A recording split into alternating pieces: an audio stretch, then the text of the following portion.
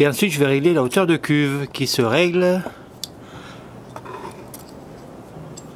avec position verticale de l'admission. C'est à peu près par là. Je mais j'arrive pas à trouver la valeur exacte, 12,5 ou 18,5, aucune idée. Puis je vais régler un peu plus bas en tout cas, parce que là, c'est un peu loin à mon avis. Je mettrai une durite à l'arrivée d'essence, et en soufflant, je saurai exactement à quel endroit ça ferme. Alors, je positionne ma durite. Pour que ce soit plus pratique, j'en ai, je rallongé, j'ai mis un petit bout en plus. Et en soufflant, là ça fuit, Là, ça a fermé, on entend bien. Merde. Eh bien, il faut que ça ferme à... Je vais aller vérifier, mais 12,5, j'y crois pas bien. Hein. On met à régler. Le plus simple, c'est de tailler une équerre comme ça.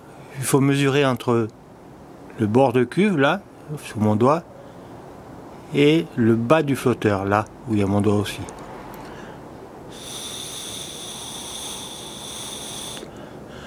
Ouais, là je du est à côté.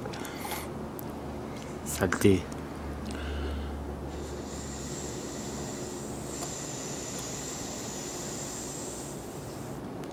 Là ça ferme.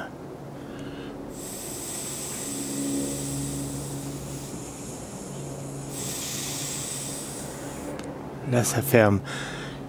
Ben c'est quand il est bien à la verticale.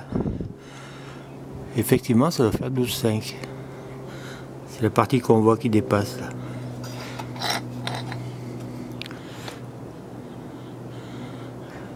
Bien la verticale, ouais, 12,5, 13.